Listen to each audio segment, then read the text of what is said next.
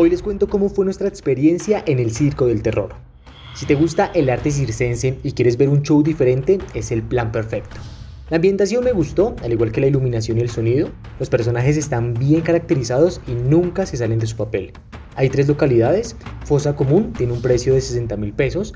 Crematorio, en lo personal, es la que más recomiendo.